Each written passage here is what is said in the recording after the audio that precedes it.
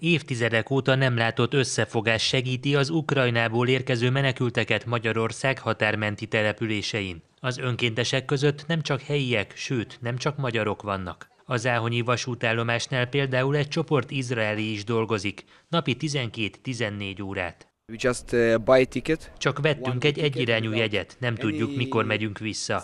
Ide jöttünk a határhoz, megkerestük a segélyszervezeteket és a helyieket, majd megkérdeztük, hogy mit tudunk segíteni, mesélte Juri.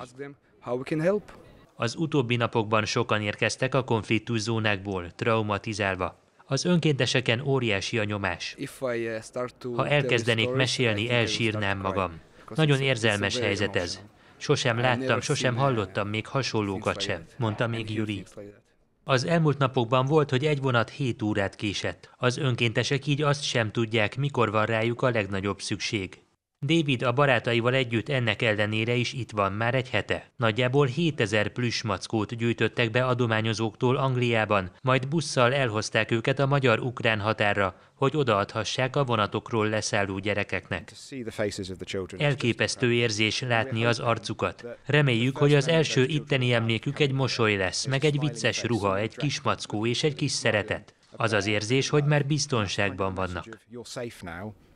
A rögtönzött sátortáborban hollandokkal és osztrákokkal is találkoztunk. A Záhonyi vasútállomás előtti teret Európa térnek hívják, ami az itt lévők szerint találó, mert aki itt körbesétál, Európa különböző országaiból érkező önkéntesekkel találkozik, akik mind azért érkeztek, hogy segítsenek az ukrajnai menekülteknek. Magyar Ádám, Euronews, Záhony.